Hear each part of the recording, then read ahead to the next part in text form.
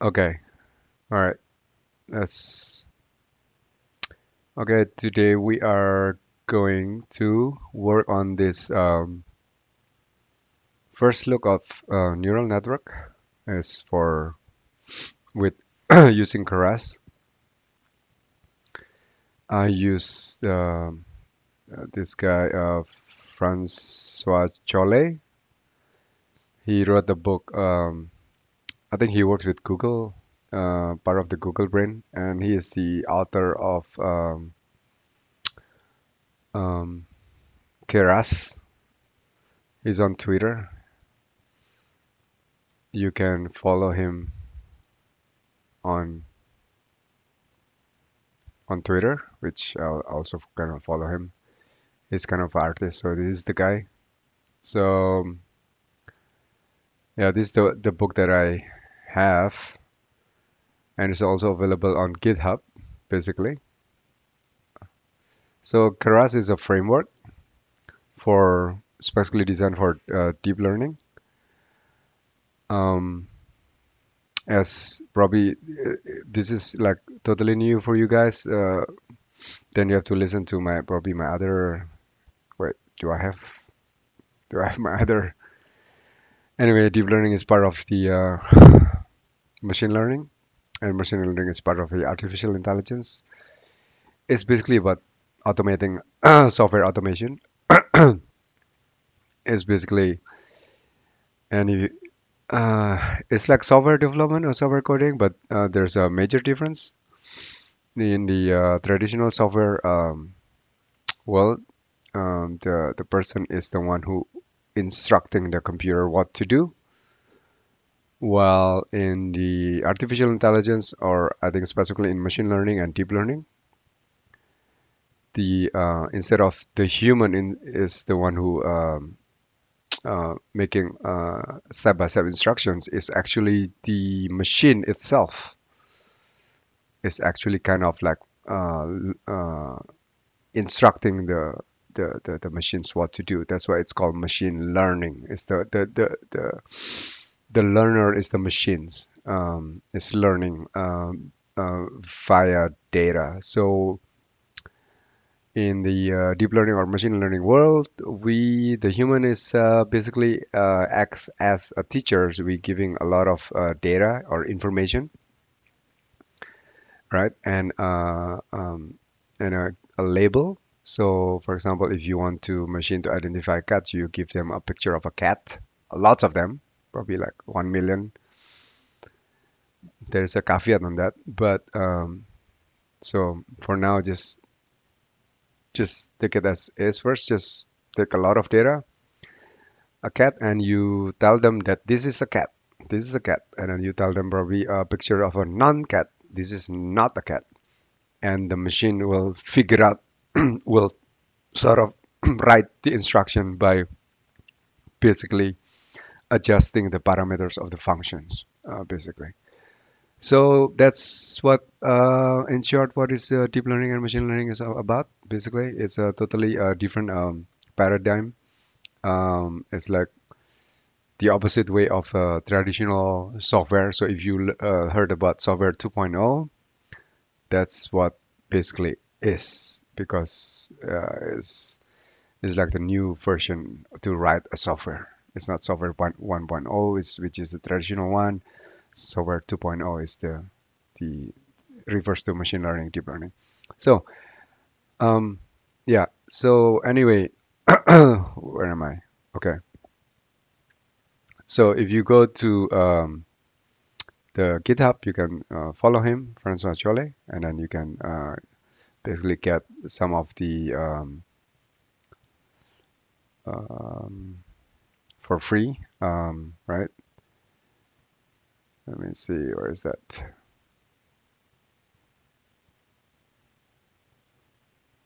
So this one, deep learning with Python notebooks, right? So you can go through this exercise. So right now we are just gonna go through um, chapter two, right? A first look at the neural network. So um, it's good that if you have the book because you can, I think, uh, deep uh, dive uh, better, uh, especially some of the things that probably uh, you need more clarifications. Uh, but on the GitHub itself, I think it's it's, it's pretty pretty good and it's free. But there, there are some things that are missing because on the GitHub itself, it's just basically more on the exercises, which is I think is more important, right? Um, but if you can get the book, get the book. I already get a book, but somehow I lost it. I don't know where I put it. Anyway, so we are we are looking at chapter two. Um, my my plan is just to go through all of this until chapter eight. Okay. Um, hopefully within like I don't know two three months, right? It's part of the uh, 100 days of machine learning uh, code uh, on Twitter. Okay, so as I said, uh, it's using Keras. Keras is a is a framework built on top of the uh, TensorFlow. TensorFlow is another framework that's uh, specifically um, uh, it's an open source framework uh, developed by Google. It's uh, for um, learn deep learning, but it's kind of like not so easy to to learn.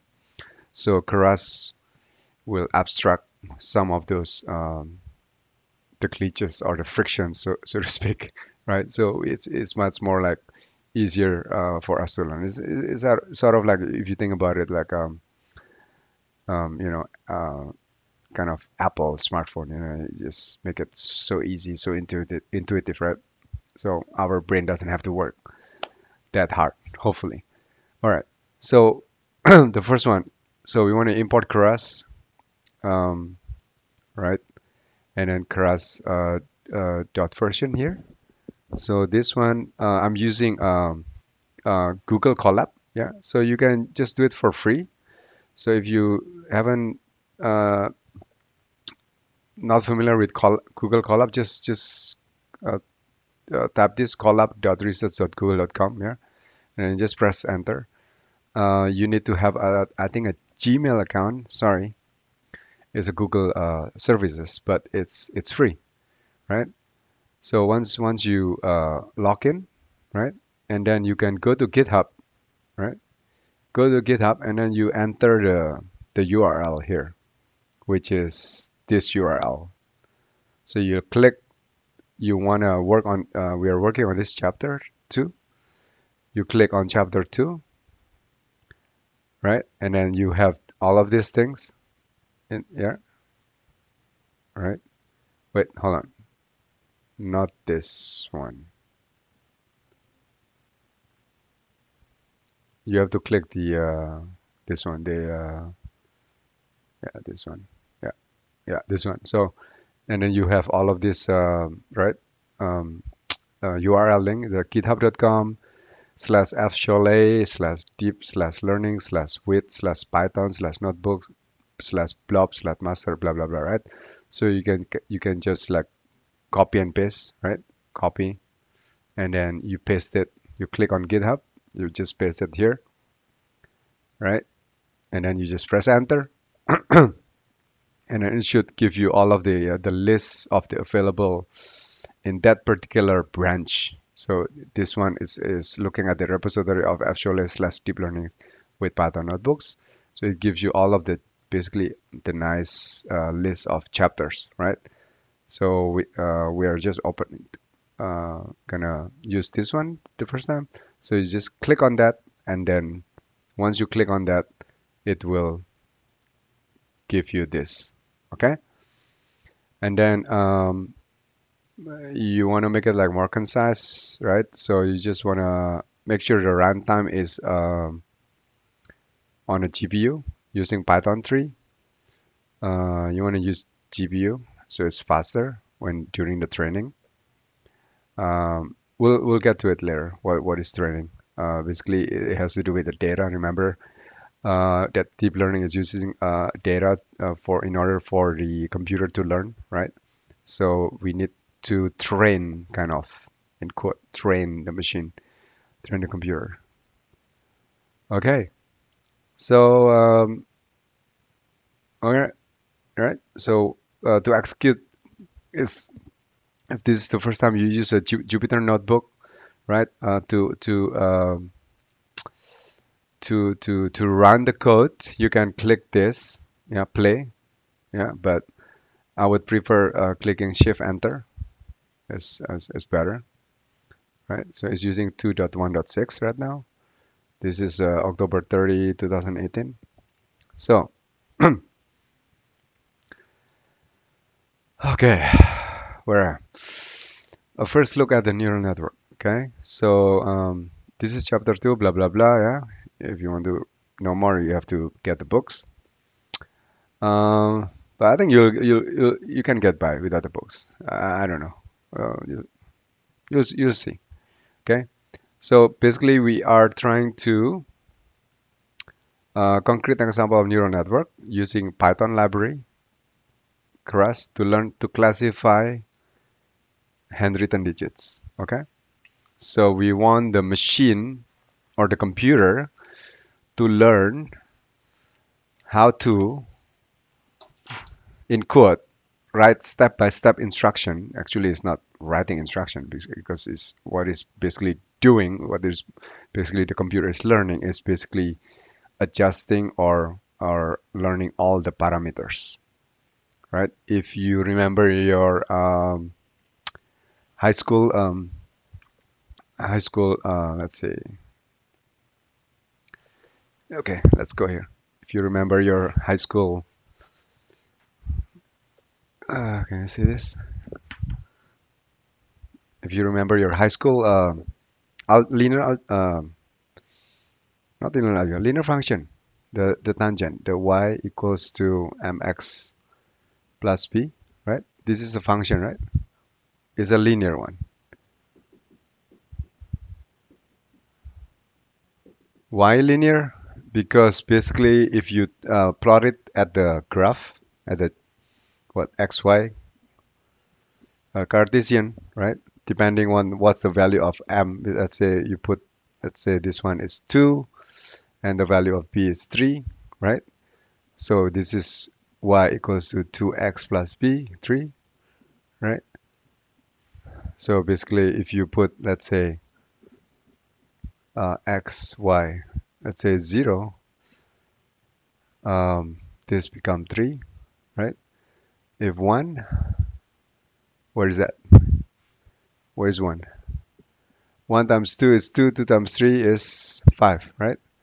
And then um, if it's 2 2 times 2 4 and then 7 so if you if you plot it in the chart uh, I'm just approximating here okay? Uh, hopefully you can see it really clear okay? Maybe make it closer like that. Better? Okay, is that better?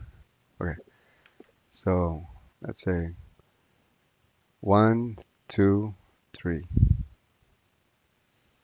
right? okay, probably that's better. Okay, and then this one, one. This is, uh, yeah, so to learn about deep learning, uh, don't worry about what other people said that you need a PhD degree or even a master degree. I, I, I happen to have a master degree, but please, I'm not I'm not a genius. Okay, my career is just average. Okay, um, all you need just high school and some common sense. Okay, unless you know if you're um, if you have common sense, then you you can do this. So don't believe that um, that those people that said you need a PhD degree to do this. Um, uh, if you have a PhD degree, it's going to be a different level of deep learning. Then probably it's going to be more like a, uh, you know, like a, a, deeper level kind of deep learning. But if you want just to, to be practical, to use it, right, to implement it in the real world to solve uh, real world problems, I don't think you need a deep learning, right? But if you want to to change like really like a deep dive uh, the underlying structure, then you might need a, a PhD degree, right? So it's it's just like a deep learning said it's like a tool, right? Tool is like it's like you're driving a car. Now I'm asking you, do you need to know how the engine works? No, right? Uh, you just need how to drive. Yeah, some uh, some somebody will teach you how to drive to uh, what, what is drive, neutral, park, right? To brake and all that stuff to stop, right? That's it. You do not need to know how the engine works, right? You just need to operate the car, drive safely. That's it. So, so if you're, uh, it depends on your objective. If you want to like make a different kind of car, you know, change like uh, make a faster car, or probably make um, a fundamentally kind of a, a different kind of engine, then probably you need a BST degree because you need the underline uh, to understand really the nitty gritty of the engine, right? But if you just want to use it, solve the problem. I want, hey, I want to go to Target, so I'll drive a car. I don't need to know like, hey, what is the engine? How many like uh, spark plugs? What's this? The miles per gallon? Yeah, I don't need to know all of those details, right? All I need to do just open the car, start the engine, and drive it. The same thing as here in deep learning, right? So, um,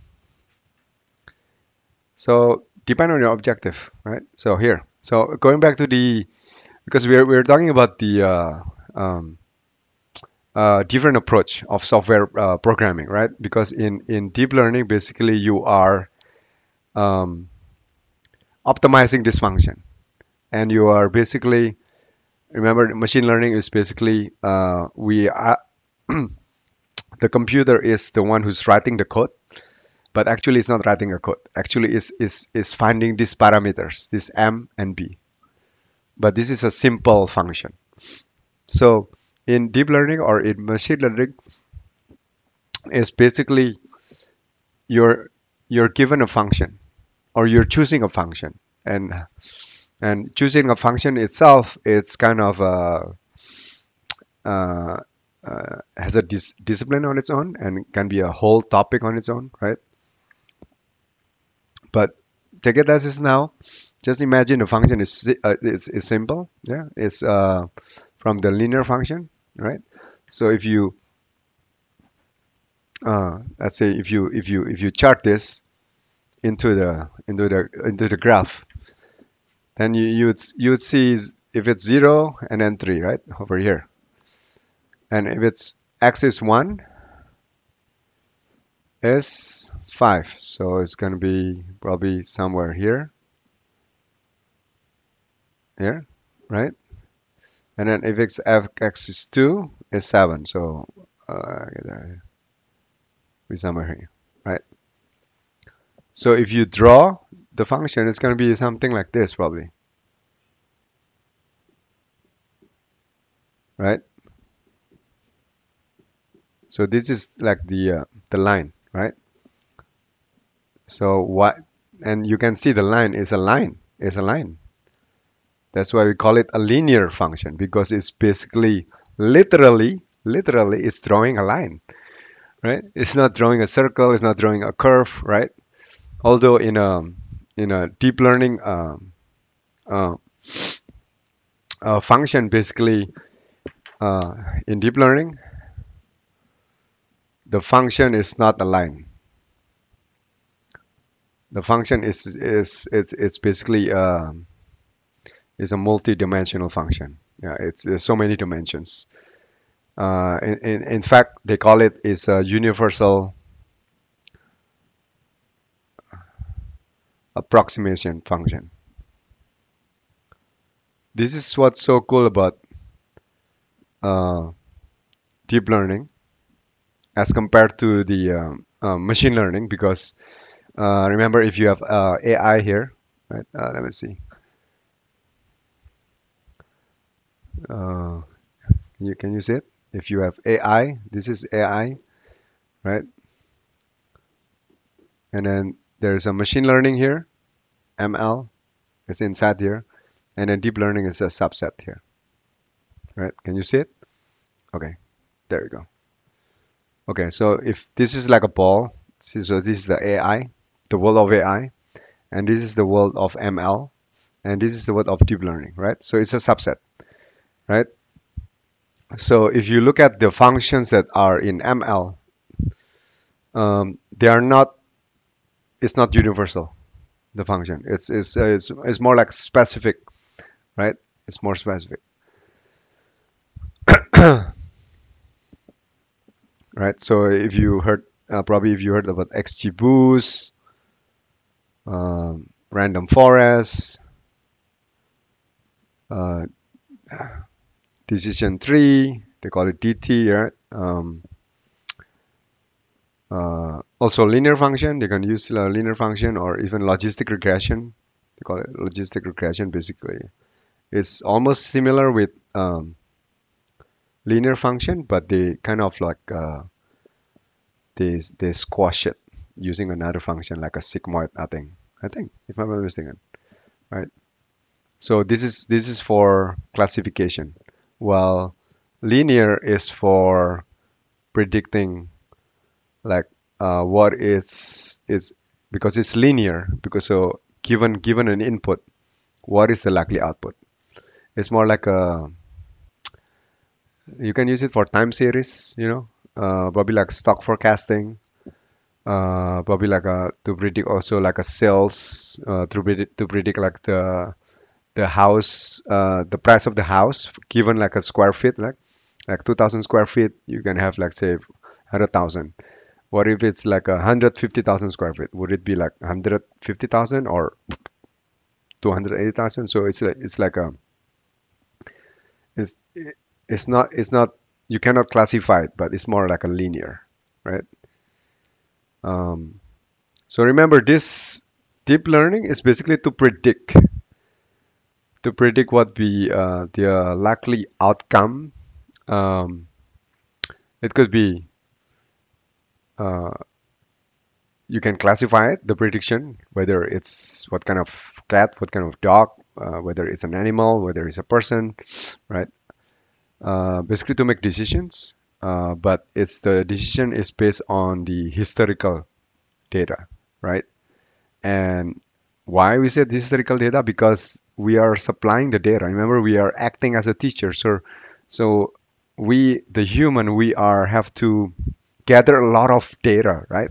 So that's why like uh, com- big company like google facebook uh, amazon like and then the chinese company like tencent uh, baidu uh, alibaba they get a lot of data right a lot of data um, and and those data uh, f- uh, from Google's point of view, Facebook uh, uh, Facebook point of view is very useful because they can they can use it to train their the computer to train the uh, the functions or to, to train the universal approximation function, which is deep learning, right?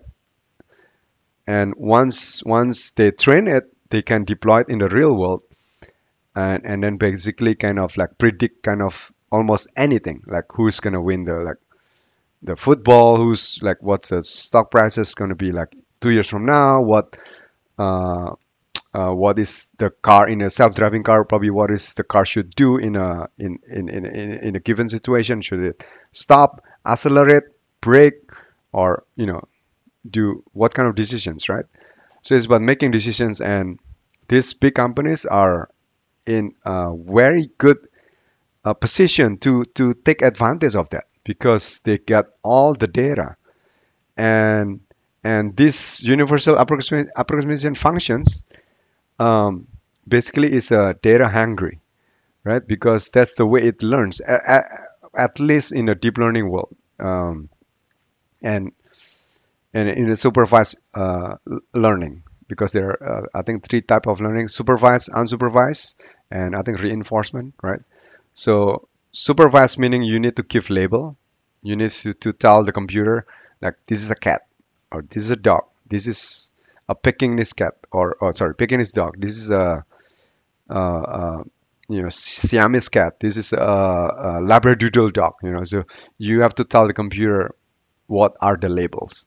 But unsupervised there's no label. Anyway, we're we're off tangent here. So anyway, um, so we're going back again to the linear function, right? so basically, it's a line, right? And once you change the uh, the the variable, right, the m and the b, and the line will will will either so the m here when you change let's say from 2 to 5 or 2 to like minus 2 the it will change and remember this is this is a tangent right right? Tangent, which is uh, basically uh, y over x, right? So it will basically it will move it like this, right? Once you when, once you change the tangent, and once you change the b, it will shift it. It will shift it to the left or to the right, right? Right. So in in a deep learning or in a machine learning world, world uh, basically when we say that what uh, the machine is learning, basically the machine is learning these parameters. What are the M and B so that the data that we supply, right? The data that we supply, the historical data that we supply, is best fit into the line, right? So for example, if I have um,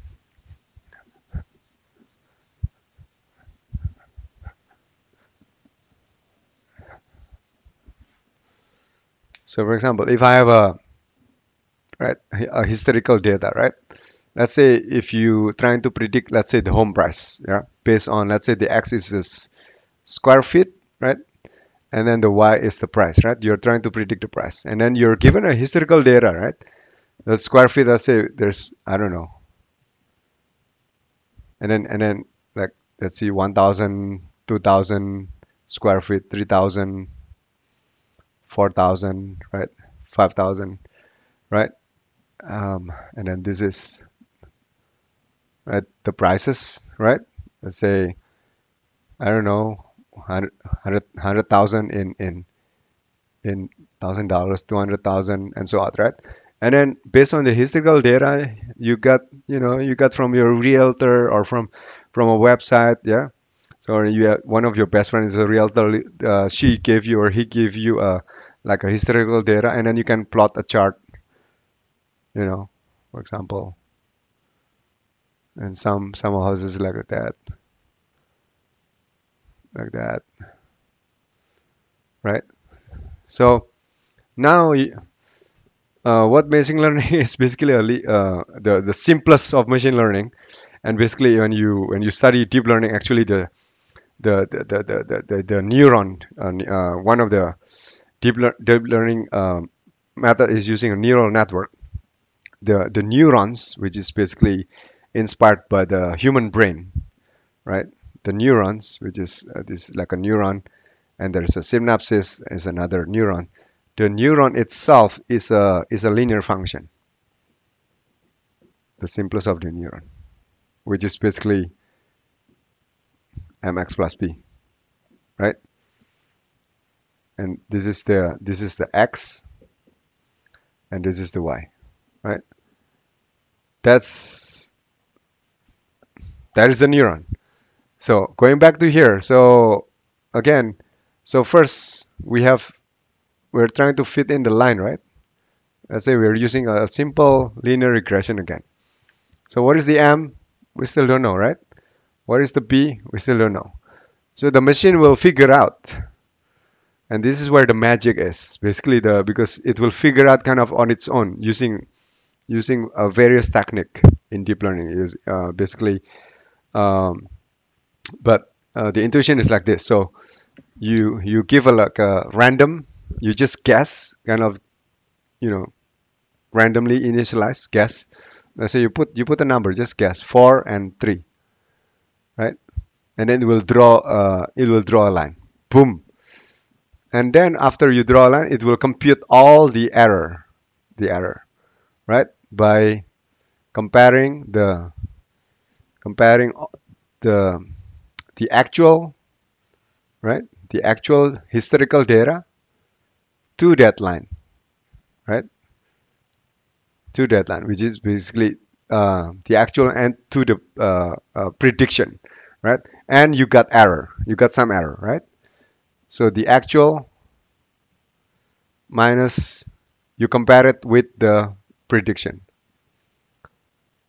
The prediction is basically the, the first line, the first line that you throw on the board by just randomly initialize the parameters. The parameters in this case is just M and B, just two, right? For a simple linear regression, right? And then you just compute the the actual, which is the historical data point, and the prediction. The prediction is the line that you made, based on the ran randomly initialized parameters. And then you got the error, right? Actual minus prediction. And once you got the error, um, there's a technique basically um, called uh, backprop propagation or gradient descent. Basically, how to minimize this error, right? So you compute the error and then you got, let's say, x, right? And then you want to minimize this. You want to minimize the x, right? So how do you do that? Is uh, if you remember a differential equation, otherwise don't worry about that. It's basically um, um, just how to minimize the error basically. Yeah, but if you want to dig dive into it, it's basically you you um, you sort of like uh, um, like uh, uh, test uh, uh, uh, what is the likely uh, likely uh, output given um, a slightly increase in the input. Because you already know um, given the uh, the first parameters the first uh, randomly initialized parameters what would be the, what is the output right? The first output. And then you want to increase slightly increase slightly adjust the parameters either going up or going down and then you want to know like what is the output? If the output output is gonna decrease okay that's good. We'll we'll use that one. We, we use that slightly adjustment which is probably going up. But if uh, you adjust slightly going up the output is uh, instead of decreasing it's it's increasing then you want to go the opposite. Oh that means wrong. That means i have to like adjust it the opposite way. So i have to decrease the parameter right? So basically you want to minimize the error and the, the best technique to do this is uh, gradient descent right? Is using a derivative uh, basically a rule chain deriv derivative basically. It's basically to know how sensitive it is by slightly adjustment of the uh, parameters to the output. That's that's pretty good intuitively. Um, Okay, uh, in this case, you just have to trust the algorithm. It works. Okay, uh, using gradient descent is basically a derivative, uh, chain rule derivative.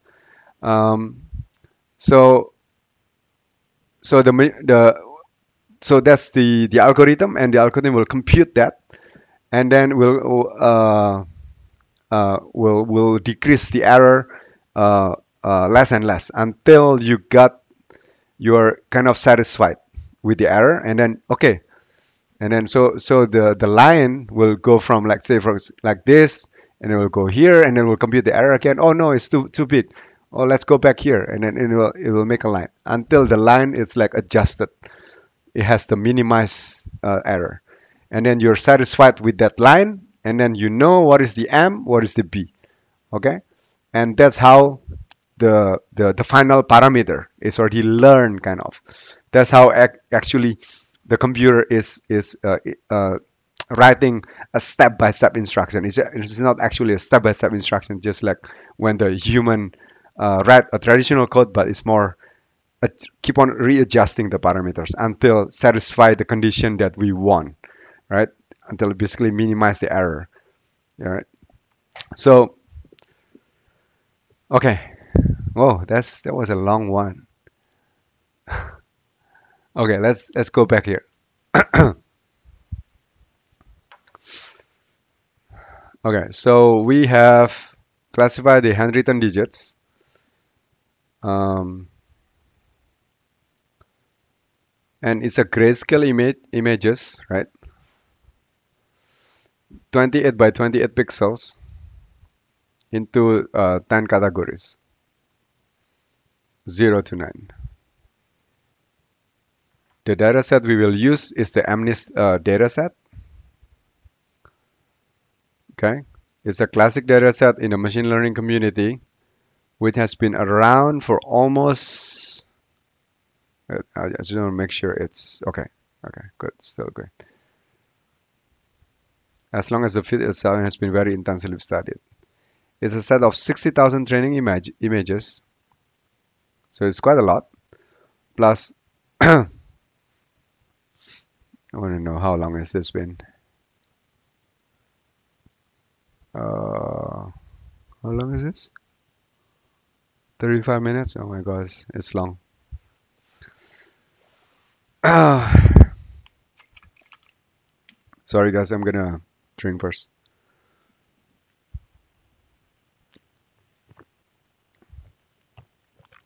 Hmm.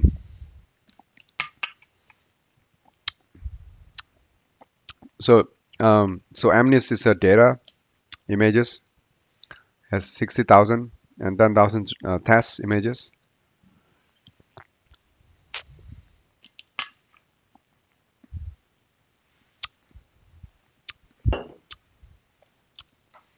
Um, so we want to classify a grayscale images. So it's not even color, it's just grayscale images of handwritten digits, right? 0 to 9, um, it's like the hello world of the deep learning, right? Okay, okay. So what what are we what are we um, dealing here? We are trying to classify handwritten digits, right? So uh, the data is from MNIST, right? Remember, deep learning is about uh, learning from uh, data, historical data. He has 60,000 uh, training data, right? And then he has 10,000 test data? Uh, it- it's trying to classify 0 to 9, right? Handwritten.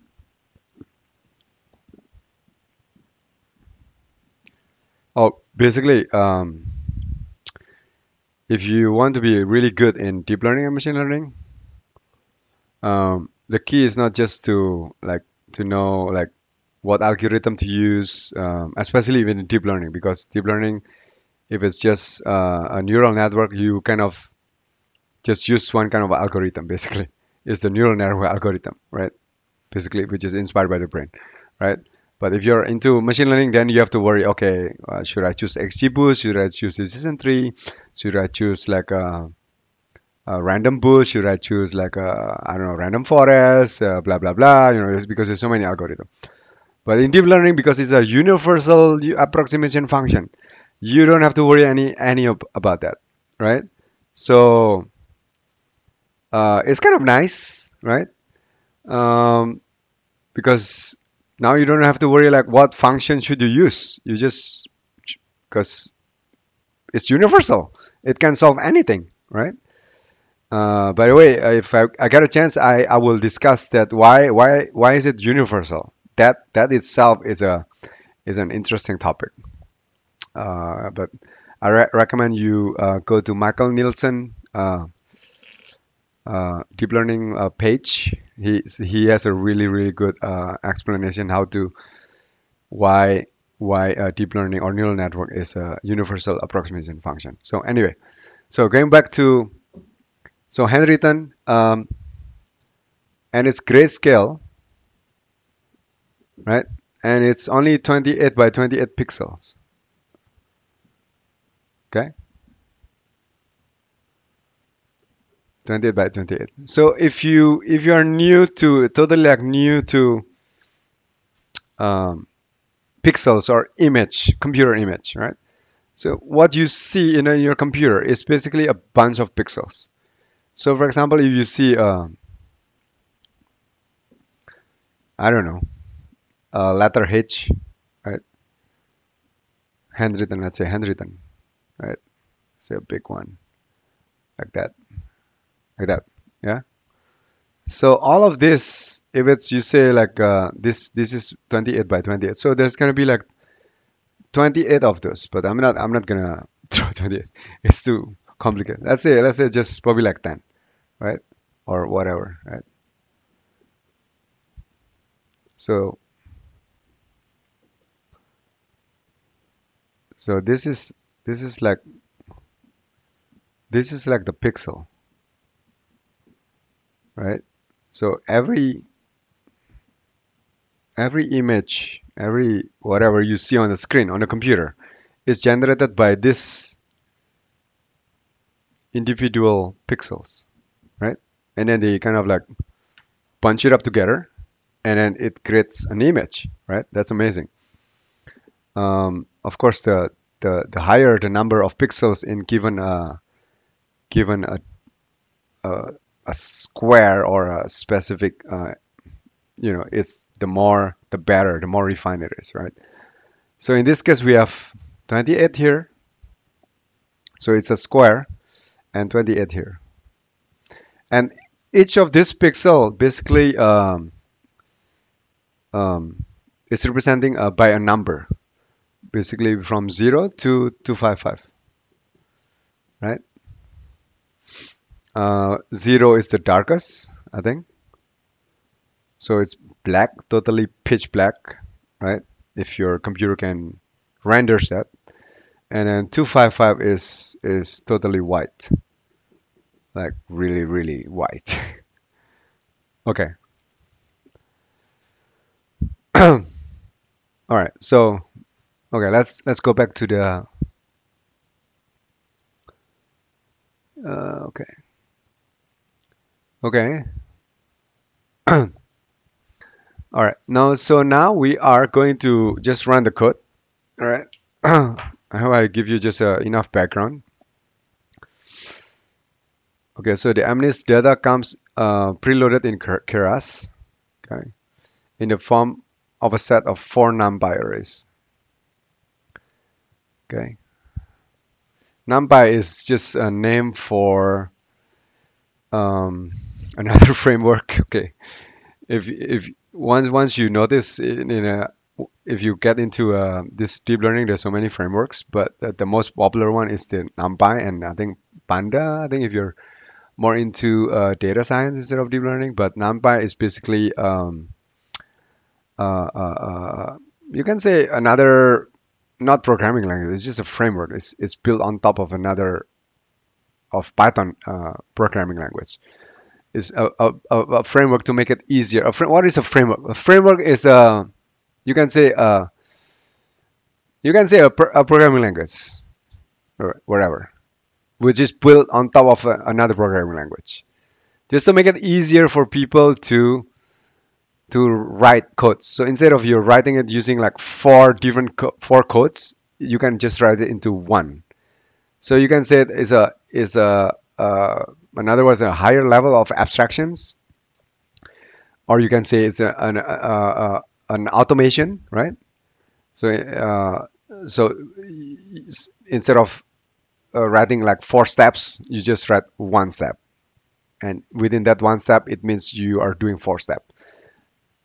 So it's kind of like a, a faster way, but it's the the more the more you do that, the more uh, uh, kind of uh, framework a lot that you use is is the, I think it's the easier, the more intuitive. Not always, okay, but I think it's in general I would say it's more intuitive for human brain to understand because it's it's kind of uh, almost reach to our understanding of a brain level instead of like really really technical level, right? Um, so NumPy is just one of those frameworks basically uh, optimized to compute arrays. Arrays, what is array? Array is just a list of numbers.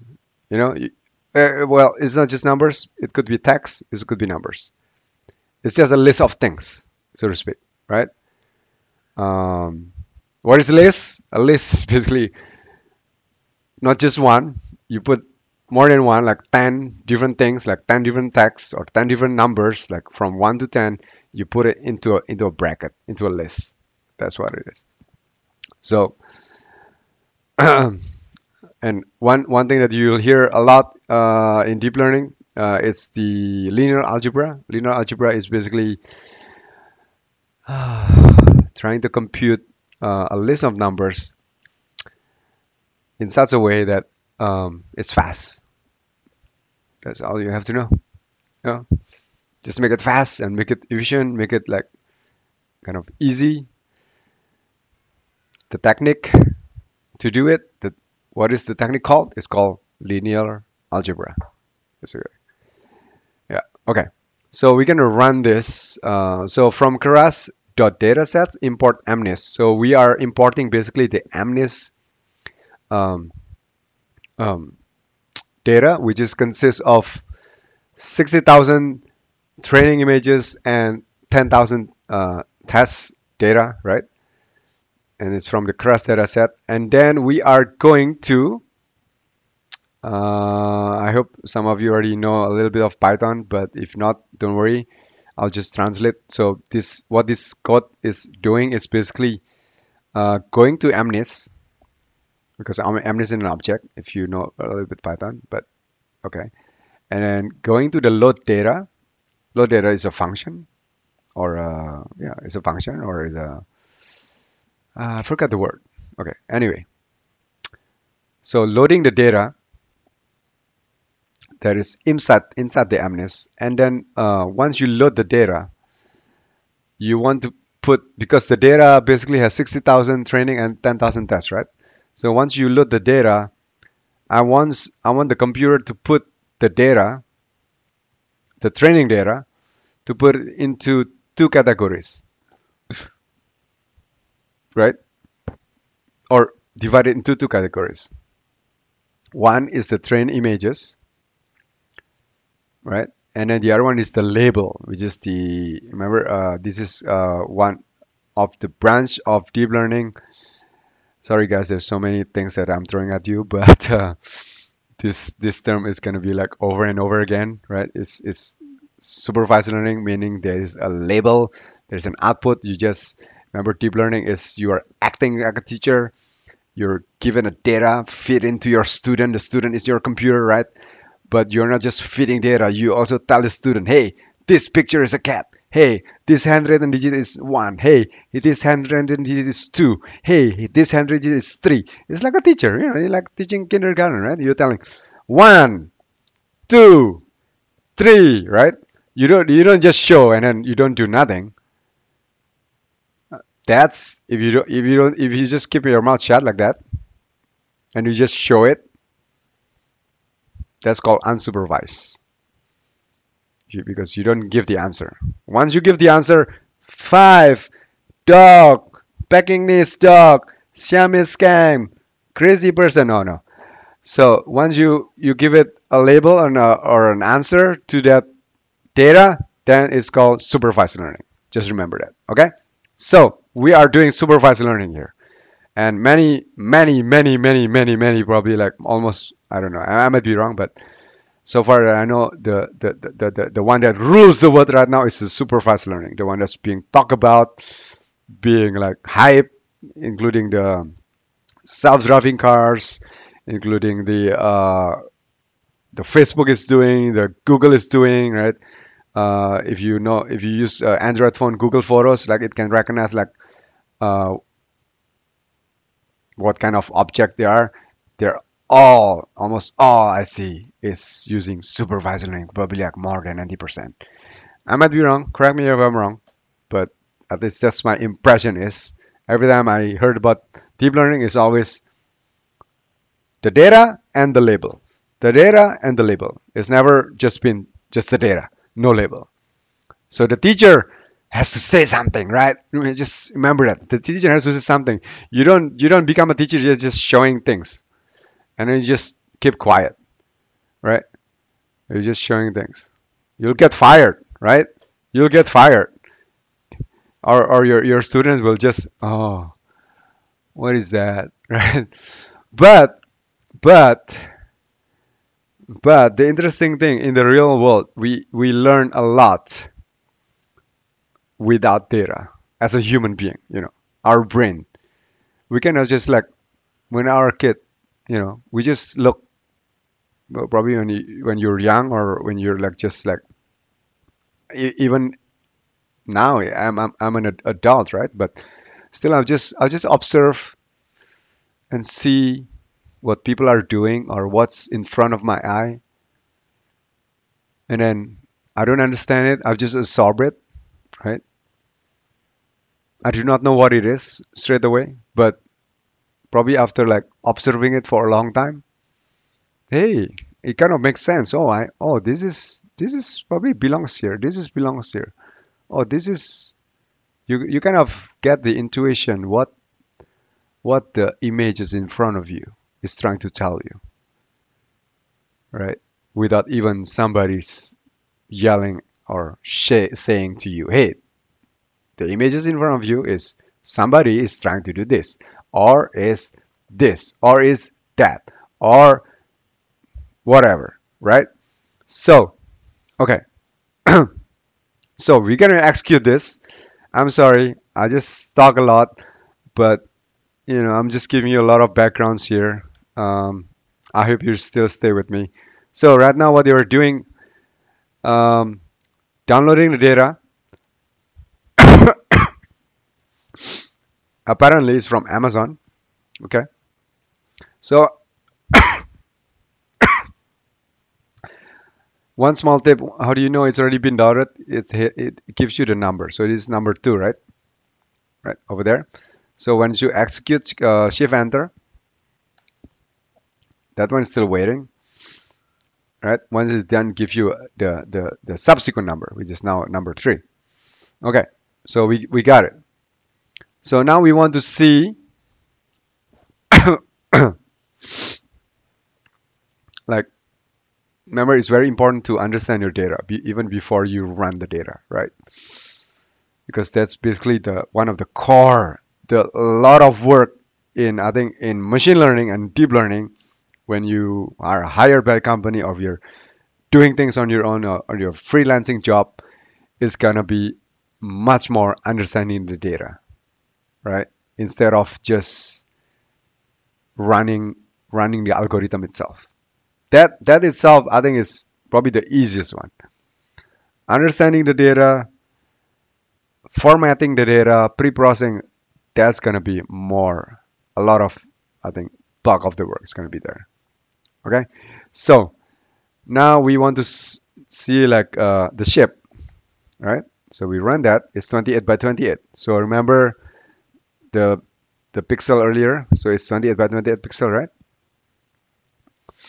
so that's the train images right? The train label should be also the same 60,000 right? If you want to see what are the train labels so basically a bunch of array right? Array is a list of numbers or a list of things. Can be numbers could be in uh, object could be uh, text. In this in this case is an integer type 8 the data type here okay?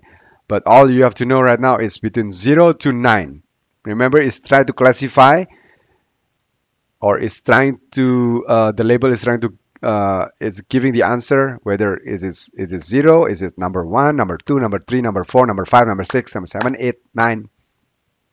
Okay? And the shape. The shape is none because it's just one pixel it's just like it's not it's not even a pixel it's just a number well it's, it's it, there's no ship because it's it, it, it, it's not it's not it's not it's a label. It's not a it's not something that you can see on the screen. It's not something that you see on the computer right? It's it's a it's a text or it's a it's a number. So it doesn't have a ship. got it? So the one that has a shape is is you can see. It's it's an image that one has a shape. Because it's an image it's basically a compilation of a pixels right? But if it's a text or a number it's not a compilation of pixels. It's just it's just number uh, represented by by uh, by uh, by zeros or ones right? But it's not represented by pixels okay? So it doesn't have, it doesn't it doesn't have a shape uh, shape doesn't doesn't belong in a in a in a text world or in a number world okay um, Okay, so now we're going to the test images. So remember we have 10,000. So some of you probably may ask, why do you need why do you need a test? Well, don't you want to know like how good is your like uh remember uh deep learning is about uh uh making a function, making a universal approximation functions that can be applied to anything, right? Self-driving cars or recognizing cats, recognizing dogs, recognizing people who are playing cricket, recognizing people who are playing uh, who are hungry, recognizing people who are sad, right? So it's about and also about making decisions whether the the, the, the car has to turn right or turn left, has to brake, has to stop, has to go forward or go backward, and so on, right? How many degrees has to turn left? How many degrees has to turn right? Right? So, uh, so if if that's the case, then you you want if especially if you want to deploy it in the real world, right? Then you know you need to know how good they are, right? You you cannot just train it and then just like just like when if you're a teacher, right? If you're teaching in a class, right? And then you have like a 20 students, you give them a lot of data. One, two, two times two, four, three times two, five. What happens if you see an lion? Run. What happens if you see a cat? Hawk, right? You give a lot of training to your student. What happens if you see a fire? What happens if you see somebody with a gun? Get out. Uh, what happens if you hear a bell? What happens if you hear emergency bell? Get out of the classroom. Duck, and so on. So once you train it, you have to know, you want to know how good is your students uh, absorbing those data that you've been teaching them, right? You don't want to like your energy put to waste, okay, right? So you have to test it, of course, right? Before you even deploy it in the real world, because even you send your students to the real world, your student is like your your your universal approximation functions, right? If if if if they're not ready to the world, probably then you have to go back and train them again. I don't know, or probably you can just kill them. No, I'm just I'm just joking, right? That means probably it's a bad student. It's, it's not it's not a universal approximation function. Probably you need to change the function. Okay, um, I'm just off tangent here. That's that's just a joke. Okay. Um, if you do not know that's that's not a joke, then I do not know. Um, anyway, so so you need to test it, right? So you have to know like indication like how good they are, right? Oh, so so this is uh, the test images. We have 10,000. The shape is supposed to be the same. Um, I think that makes sense, right? Because if your training images is 28 by 28 pixels, then the test images should be also 28 by 28, right? Um, otherwise, uh, I don't think the the the function. I think the functions. Uh, uh, I think it's gonna uh, uh, fail miserably. Just just to be honest, I think because um, yeah, this is a computer. It's, it's not it's not like human, right? So probably for human, you you can you can like tell them okay, if it's 28 by 28, you can see a cat, right? And then you when you test it, you can put like a blown up cat, like a I don't know, a big giant poster which is like 10,000 by 10,000 pixel. Probably your student can recognize it, but not for computer. Sorry. Um, I might be wrong, but in this case, the shape is the same uh, the test shape is the same as the training uh, um, uh, shape, which is 28 by 28. Right. So it's the test label. The test label has to be the same as the test, right? Otherwise, it doesn't match. Then some of them would not would have no labels, right? So that thing is not gonna work, I think. All right. If you want to see uh, the array, just for test images number one, so this is the basically the 28 by 28 pixel right so if you can see here like say one two right let's count it together two three four five six seven eight nine ten eleven twelve thirteen right? And then 26 right? And then 27 and 28 right? So that's those are like the the first 28 pixels. And then you have uh 28 um 28 to the bottom 28 uh, rows. So one two three right. oh sorry four yeah until 28 to the bottom here right and if you can see the value is between 0 to 255, yeah. So this is until 253, but yeah, this is the closest 253. Right? 253 is the probably the brightest over here. You don't see 255 here. No. Right?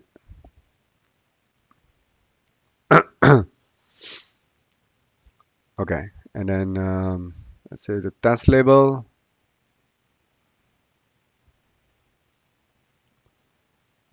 Um, so this is the test label. So apparently um, number one is seven. I wonder if you can um, if you can see it. I don't know if you can see it. Let's see. Okay. Oh, another tip is you can press tab to see all the functions. So you you press dot and then tab, right? And then you can see all the functions that you can use. Um, I don't know if you can see. Is there a show?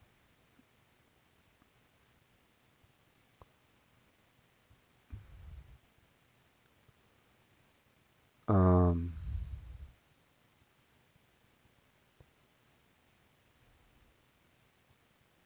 oh, what be view? Let's say, say one like that.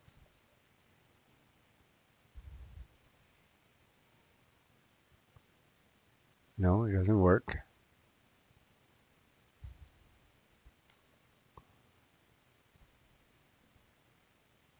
No, it doesn't work.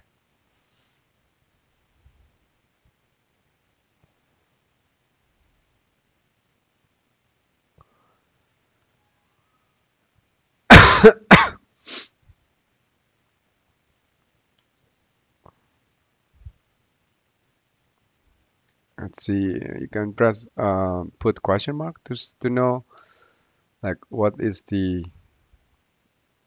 um, the parameters.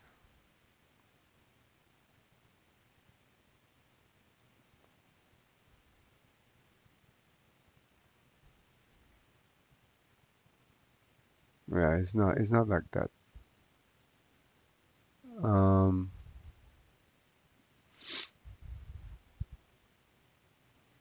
I don't know. There's nothing here. What can you use to see all any base choose clip compress data dump image maybe? Let's see.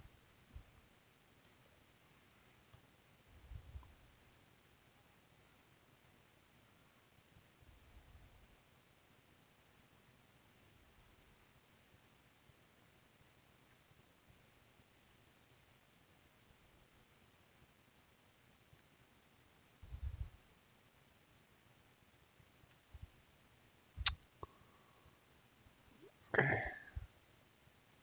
wait. Maybe I can do this. Hold on.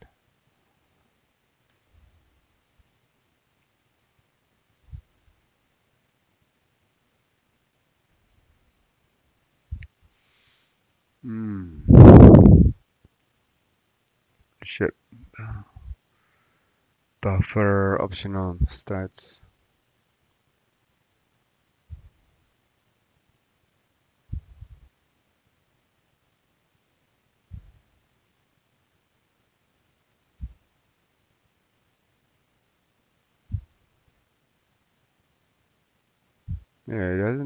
Doesn't show anything.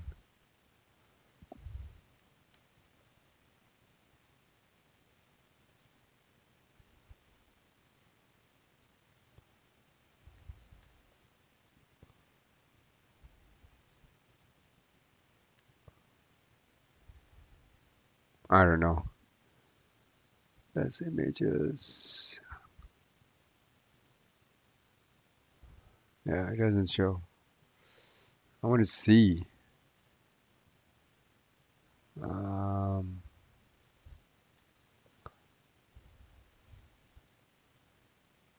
yeah, I want to see. I don't know.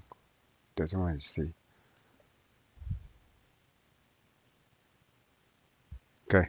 Anyway, that is number seven. Okay, that is number seven. Uh,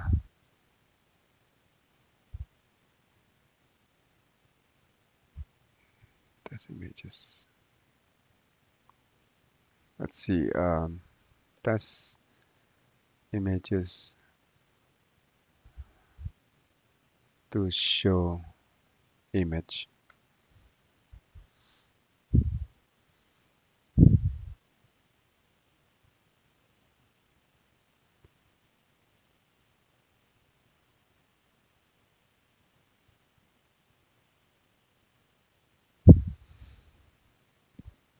In Keras.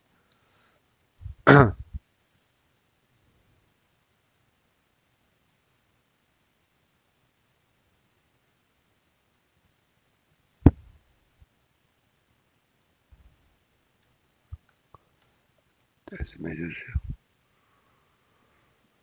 Oh.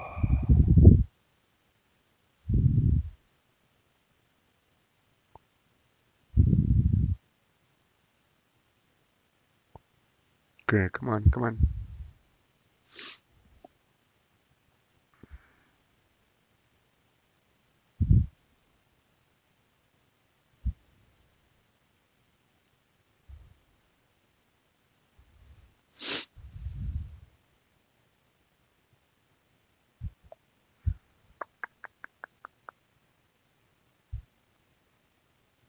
Hmm, plot im show image.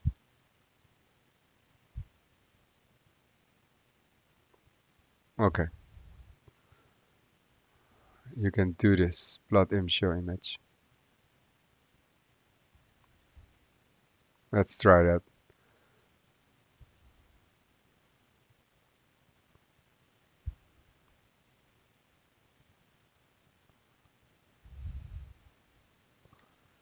Let's try this.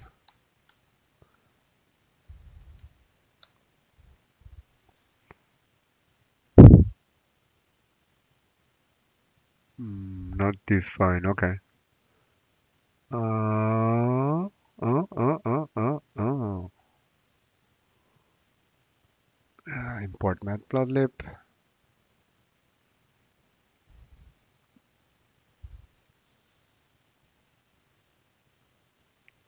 Come on.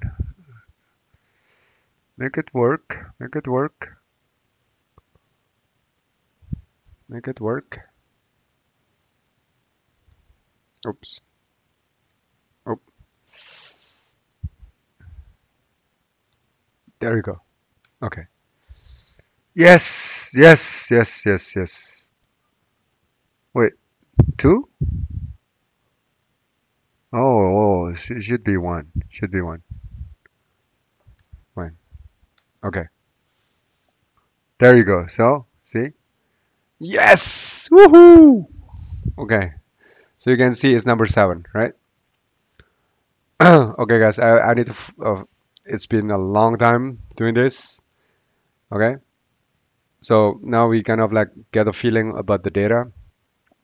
Okay, let's go to the next step. We're almost almost done. So our workflow will be as follow. First, we will represent our neural network with the training data.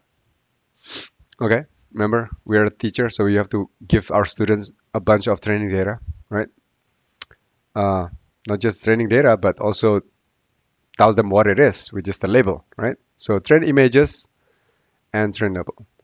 And then the network will then learn to associate images and label. Remember, learn is just basically getting the right parameters. In this in this in this case, is because it's a universal approximation function, there's a lot of parameters. It's not just uh, think about linear linear function y equals to mx plus b, but times one million.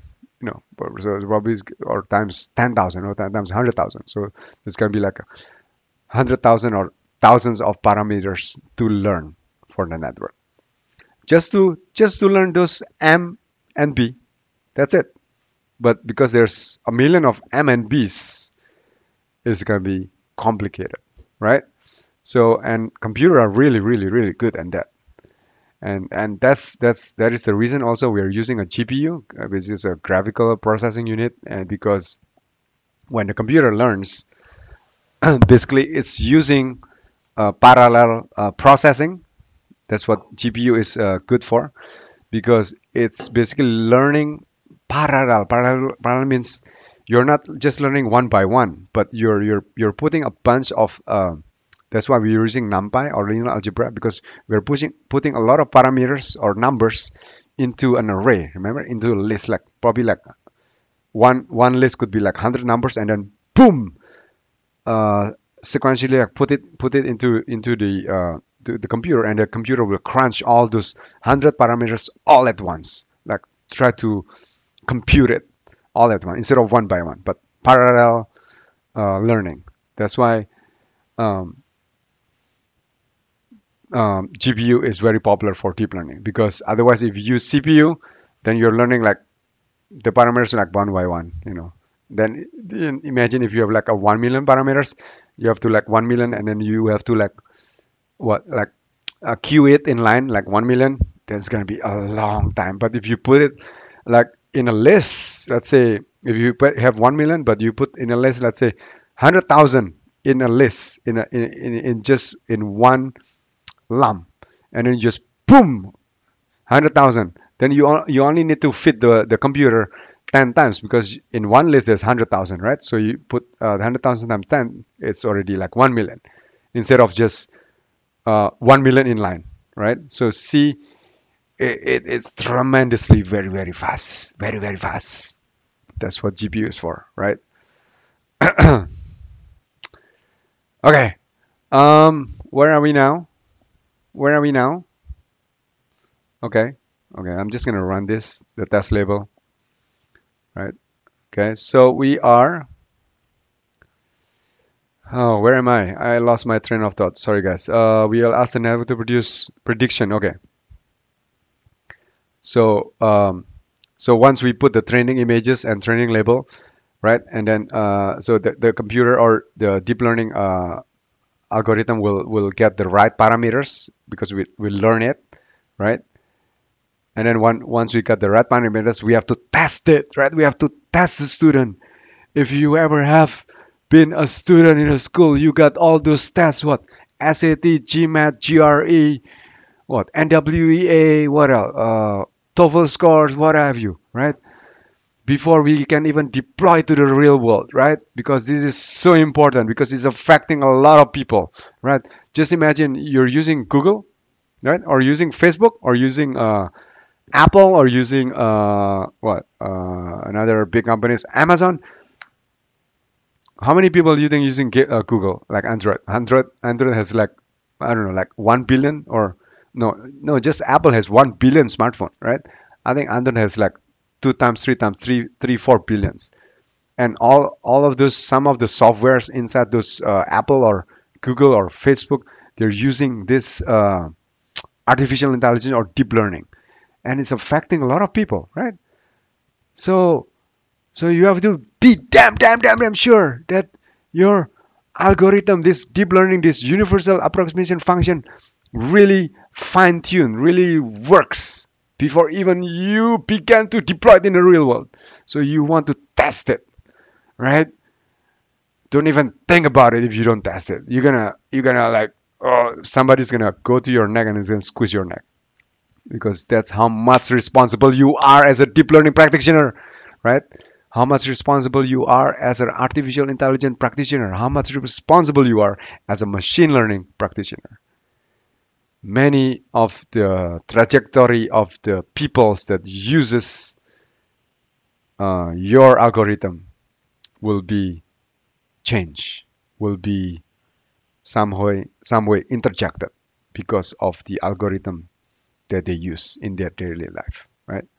Just for example, if your algorithm giving giving uh, uh, the people that uses it a wrong prediction and then that person fully trusts that, right? And just follow the wrong decision. It will impact that person's life. Can you imagine that? And not just one person. Could be one million, could be 10 million, could be 100 million. So this is why deep learning is one of the most important like technology. If you heard about Andrew Ng, he's one of the famous uh, machine learning like enthusiast or researcher. He's he's a professor in Stanford. He says basically deep learning or machine learning or I think artificial intelligence is like the new electricity. Because you know electricity we all use electricity. We cannot run away from electricity. Well unless if you want to become like a i don't know go back to a hundred years uh you know or 200 years ago or 1000 years ago right? Living with just a candle right? Then, but all right? We we live in this modern world. We enjoy it right? We enjoy electricity. Without electricity we are like just like a caveman probably. I don't know. We're just like gathering stone and then just like making fire with the stone. Oh, it's hard work. You couldn't imagine how hard work is. So anyway anyway i'm just giving you trying to give you like a uh, like a why why do you have to learn this thing because this technology is just so important you know affecting a lot of people right?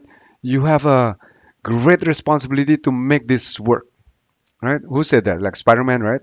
With great power comes great responsibility. That's who you are. That's why you're listening to this right? You got this but you have to test it. You have to be damn damn damn damn damn damn damn like a million damn sure before you deploy that algorithm to the real world because it's gonna affecting later probably in in this uh, or you have heard about you know some machine learning algorithm are biased right? Well the reason is biased because the training data normally the training data that they, they're given are not diverse. So for example you want to um, predict like if the person are happy or not but all of your training data because many of the computer are being used i think more more especially in the us probably just white people normally like i don't know 80% 90% so a lot of the training data are like just white people instead of like brown or yellow or or or or, or, or red people you know. So you have to be make sure that the data are diverse. That's one of the really really key thing right? Before even if you even you train it you have to know like damn sure you have to consult probably with other practitioners you have to consult from other people like is my training diverse? If not what can you do about it? Right? Because you cannot just train uh, uh, uh, deep learning if your images are not diverse. Then it's going to be making a lot of harm than good right to the world. So Yes, so that's that's the responsibility.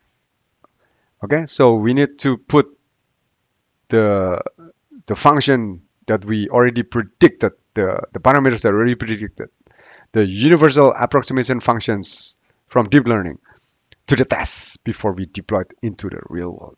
All right, capiche? Okay, now let's build the network. Again, remember that you are not supposed to understand everything about this example just yet but I already explained a lot of things because I think it's already what more than one hour. Oh my gosh, it's one hour twenty minutes. Okay, okay. I'm I'm I'm gonna just keep quiet right now. I'm just shut up, right? I'm just gonna boom, right? Boom, boom, boom, boom, right? Otherwise, you're gonna probably fall asleep. Okay, so from Keras import models and from Keras import layers, right?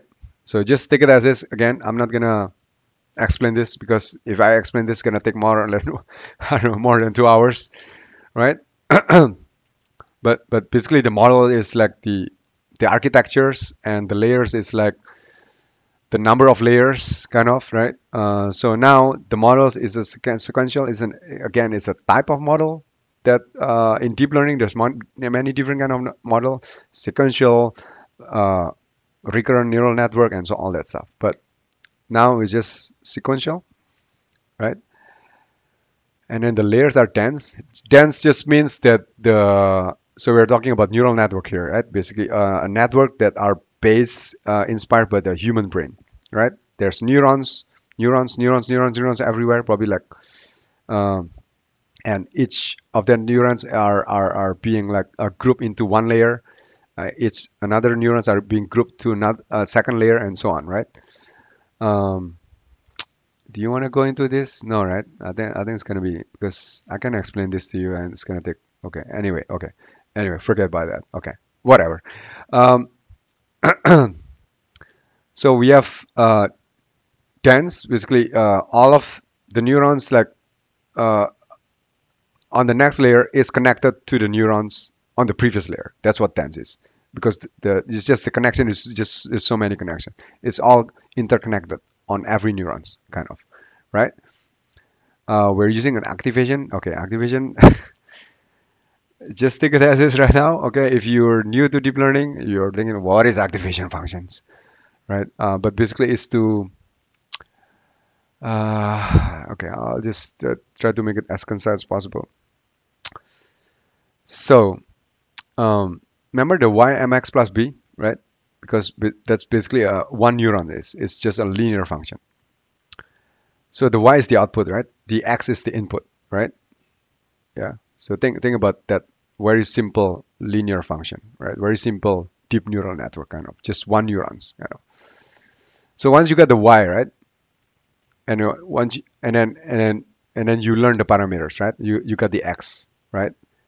And the y is kind of like a, a linear, right? The proportion because it's a linear function. But it, it, as it turns out, because uh, deep neural network is a universal approximation function, it's universal. So imagine if it's a linear, linear, right? But in the real world, is if you're trying to classify like images of cat, images of a dog, deciding, probably deciding is a linear thing. But what I'm trying to say is is non-linear. That's what I can say. The simplest way.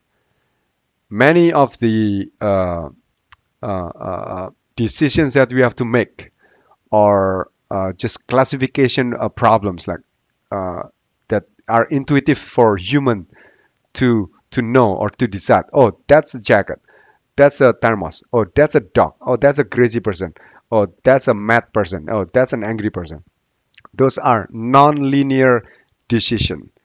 So, in order to make a non-linear, in other words, in order to make it a universal function, it's not just a linear function because if it's linear, it cannot become universal by definition because it's just linear. You know, every time you give you give an input, then the output will be will always become proportional, right? That's what linear is. It's a line, right? You cannot like tweak it, like make it curvy. You know, you cannot become flexible.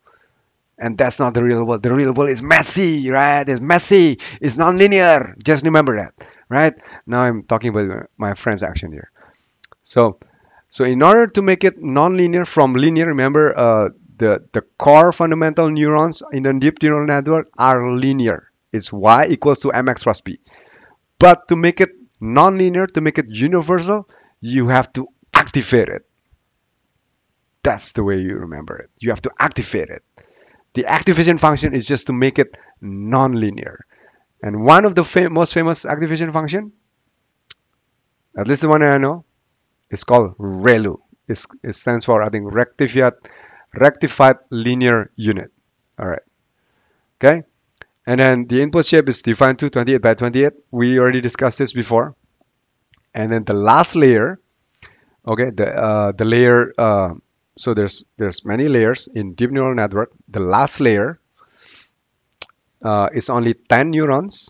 I think this is what it says. Only 10 uh, neurons, and then the activation is a softmax, because the last layer is trying to decide or trying to classify what are the handwritten digits, whether it's from 0, 1, 2, 3, 4, 5. So it's multi-classification. It's not just a binary classification. Binary classification means if it's a dog or not dog, if it's a hot dog or not hot dog. You see the Silicon Valley uh, uh, uh, miniseries. Anyway, so there's a multiple classification. So in multiple classification, you use a special activation function. It's called softmax, and we can discuss this softmax in a deeper just one session, but it's just for two hours. But you don't have to know about this. All you need to know just use softmax. I know, I know. you know my brain isn't like an engineer. I want to know everything underneath, but uh, at this point, sometimes okay, whatever works works. Okay, just just just stick the faith. You know, faith. Take it by faith. Just believe in it. Uh, uh, just take it. Okay. So we'll we'll we'll we'll run this thing. Okay. So we already run it. Okay. So we already built now the network with a nice architecture, nice activation functions, uh, nice layers or all dense, whatever. I'm so tired. Okay. So the, the core building block of neural network is the layer, blah, blah, blah, data processing module, which can conceive as a filter. Uh, some data comes in and comes out in a more useful form, form precisely layer extract representations out of the data fed into them, hopefully representations that are more meaningful for the problem at hand. Most of deep learning, blah, blah, blah, consists of chaining together simple layers, which will implement a form uh, progress. Okay, that's uh, okay. Okay, you you can read all of this on your own, okay? Uh, here our network consists of sequence of two dense layers, which are densely connected, also called fully connected neural, neural layers. The second last layer is a 10-way softmax layer, which means it will return a, a 10 array, an array of 10 probability scores summing to 1. Okay, that's more like the technical definition of what is a softmax. Okay, very uh, short, uh, uh, concise. Its score will be the probability that current digit event belongs to one of our 10 digits, okay? So it, it's, it's, it's summing to 1, the probability. So if, if it recognizes it's oh this is this is i think handwritten uh, 9 so it will put 9 let's say probably 0.9 right? And then and then the rest is like just 0.05 very low probability something like that. So to make our network ready for training we need to pick three more things as part of compilation step. First a loss function. Okay this is how the network will be able to measure how good a job is doing on its training data, right? So a loss function. Remember, uh, we talk about how to minimize the error. That's what basically how you learn how to adjust the parameter, right? When you're adjusting the parameter, basically you're trying to minimize the loss, right? The error. And then an optimizer, this is a mechanism through which the network will update itself based on its data sees at its loss factor. And the matrix, the man parameter, uh, based on accuracy and the fraction of the images that were correctly classified. Okay, guys, so don't worry about all of this. I'm already having um, my my brain juice is already like uh, exhausted, kind of keep on talking and uh, just trying to explain this stuff here. Um, we we'll we'll go through this again. You know, I'm, I'm sure you you'll you'll find it in other YouTube session, or I'm sure you you find it. You, you can re-listen this this YouTube again, or listen another of my YouTube uh, uh, um, session, and and you'll you'll get it. Right? You'll get this. Don't worry about it. It, it just needs a repetition, right? And a different point of view, right? So if you don't understand it, don't worry about it. it it's, it's, just me. I'm, I'm not explaining really clearly, but I'm just trying to explain as as as clearly as lay uh, man uh, lay person as possible, so you can understand it. But if you don't understand, still, no big deal. No big deal. Okay. So the exact purpose of the loss function and optimizer will be made clear throughout the next two chapters. Okay. Okay. So this is how we define the, the, the, the, the, the optimizer, the loss, the matrix. So we are using RMSprop. Uh, the loss function, we use categorical cross entropy and the matrix accuracy. Okay. And then we run this. Okay, now before training, we'll process our data by reshaping it into the shape that the network expects and scaling it so that all values are 0 to 1. Okay, so this is called normalization because remember the, the value is from 0 to 255 right? In array of okay? And then we the value is 0 to uh, we transform into float 32 array of shape from 0 to 1 okay? So this is this uh, process is called normalization. So you put train images dot reshape 60,000 2028 and then uh, put it on the train images, right? And other images uh, change type uh, float 32 divided by 255. Why divided by 255? Because you want the value from 0 to 1, right? So you have to divide by 255. The same thing you did for the test images. You reshape it first, right?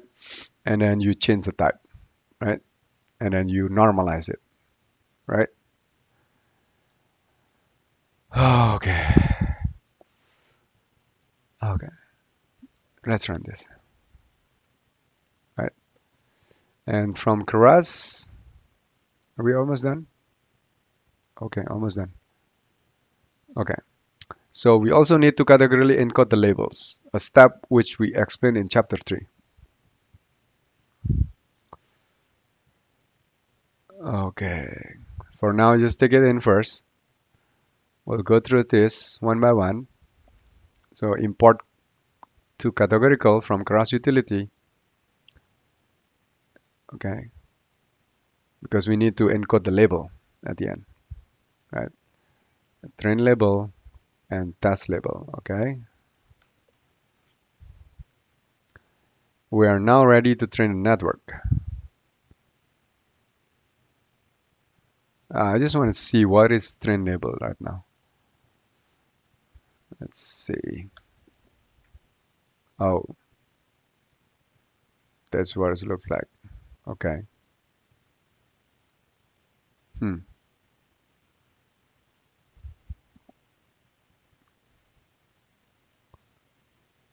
How about over here? Let me see over here. Uh, I just want to see the difference. Oh, it's like this. So from like this into like this. Okay. Hmm. So just one, zero, one, zero. So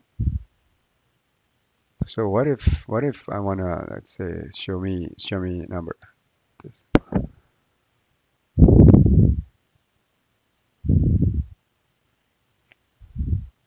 So there's one, two, three, four, five, six, seven, eight, nine, ten.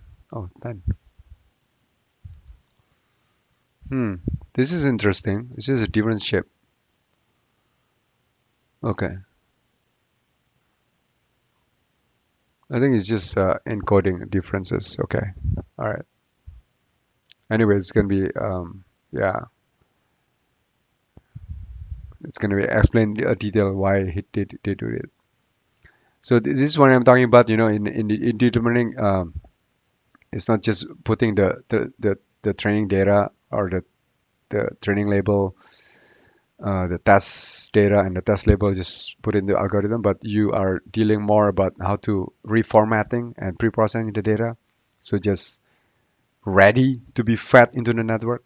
And that's normally takes a longer time, you know, to clean the data and so on.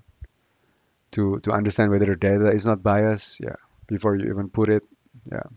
So there's a lot of like a, I would say pre, pre-work, pre-prep about the data itself before you can like put it into the network. Okay, so now we are ready to train our network. Yay! Finally, after after one hour 34 minutes. Okay, so we call fit method into network. We fit the model into train data. So network dot fit. So we put the train images train label epoch is the number five is the number of time you you fit in the data. So one epoch one it just you put it one time that's it. So the idea if um, the more the more you put in basically up to a point okay the more you put in the the the the, the, the, the, the parameters that going to be learned remember it's learning like a lot of parameters probably like 100,000 a million parameters for the universal um, approximate functions are going to be better and better because the error is going to be minimized and minimized right? So and then batch size is 128 I think this one has to do with uh, so you're not just this is this is basically to to to um, to to minimize expenses because uh, training a network is expensive. Um, so instead of updating the uh, updating the parameters on every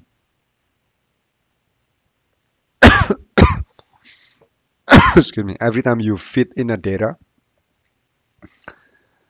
right Uh, for example you have like a i don't know this in this case you have 60000 training images right so instead of updating the parameters every time you fit in that means you have to update it 60000 times. I think you update it uh, 128 times. Sorry 100 every 128 because you're you're you're you're putting uh, like uh, 128 images in in one batch. So you kind of like cheating you know to to to to save money. So it, it's like a i don't know. I, I don't know probably this is a bad example if you have a car. This this the thing that i can think. If you have a car instead of like uh driving a person like you know one by one to uh, the same school let's say you're driving your your kids to the same school like if you have four kids instead of like driving one by one you just put all four kids into one car right? And you just drive there. So you save kind of something like that probably is not a good analogy whatever. Okay so we, we're gonna train this boom. Oh error. Oh man I don't know why.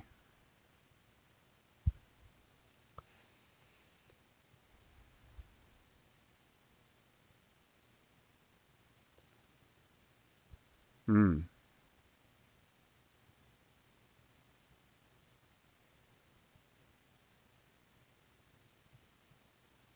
yeah I don't know. Let's let's go back to the beginning. I don't know why is it error? Just just do it yeah. Sometimes yeah it's a bit iffy here. Sometimes I, I I did something like I want to, to test it and then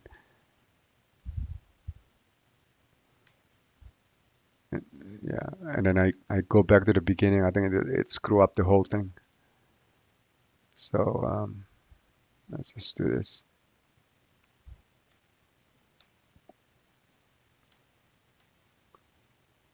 So this is a nice thing is just pressing shift enter shift enter.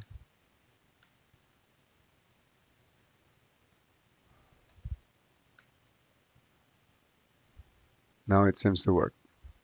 Cross my finger cross my finger. Yep. Yes it's working. It's training. 5 epoch so you can see here it's like 60,000 data right? The first epoch. It takes 5 seconds. It gives you a loss of 0.25 accuracy 92 the second epoch right? The same thing 60,000 data. 3 seconds. It's faster slightly faster.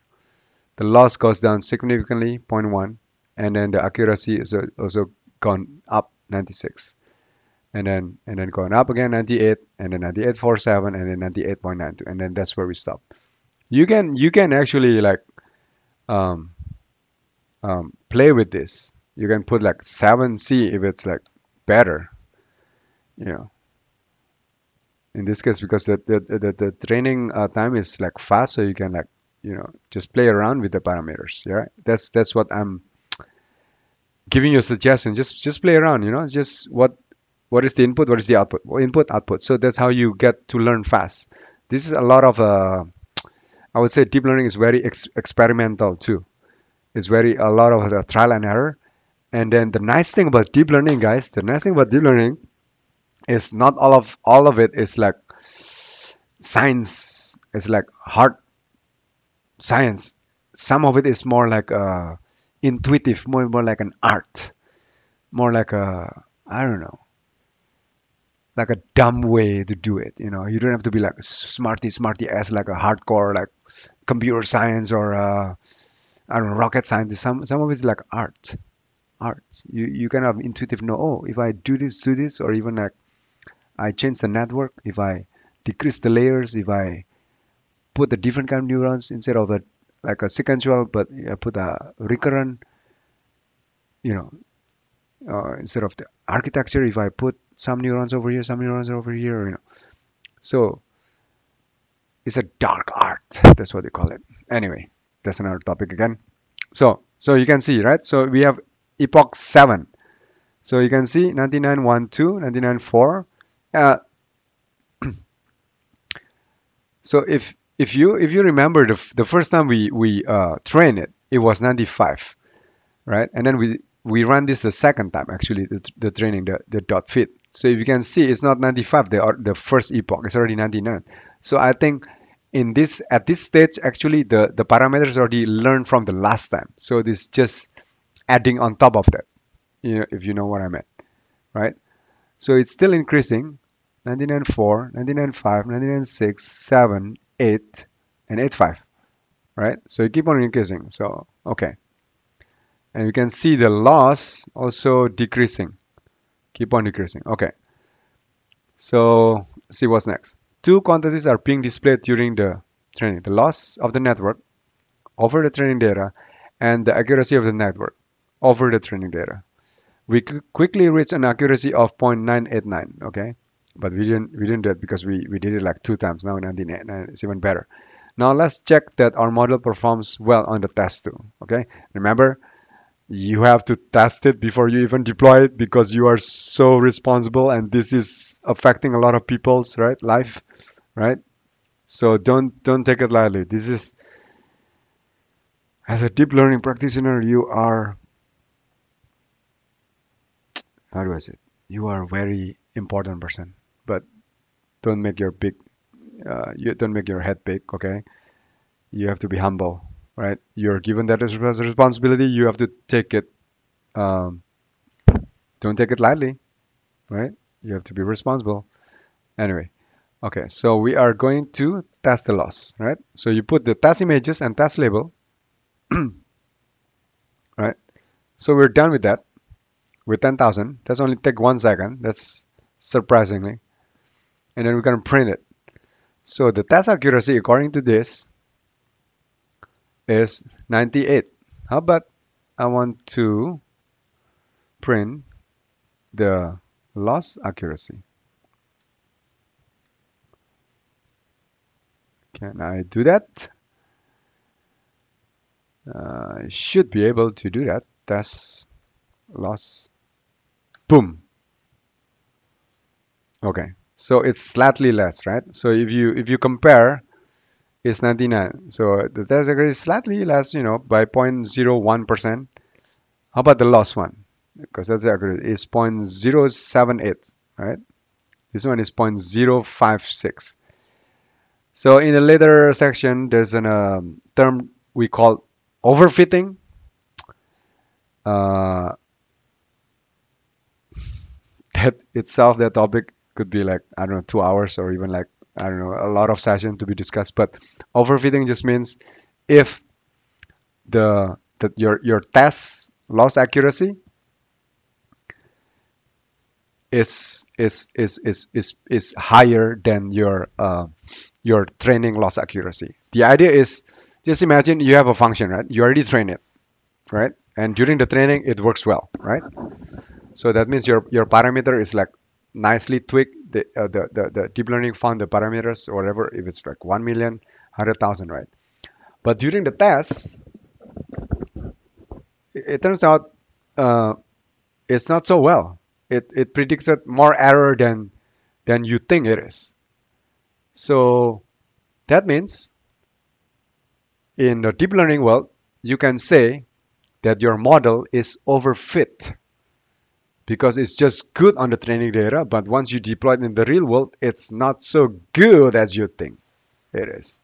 Right? There, there is a, like a, lot of discussion like how like how good and how bad you can like tolerate, right? But but basically it is. If it if it's like the the the the the, the, the, the once after you test it, it's kind of like worse than worse than the training, then your model overfits. But if it's once you test it, um, your model is better, then they call it underfitting, right?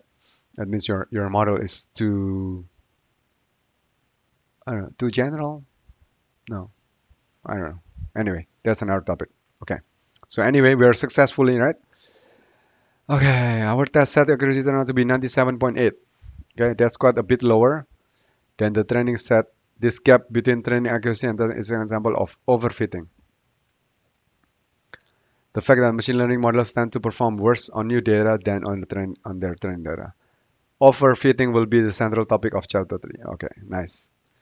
This concludes our very first example. You saw how we could build and train a neural network to classify handwritten digits less than 20 lines Python code. In next, we will go detail over every moving piece we just previewed and clarify what is really going on behind the scenes.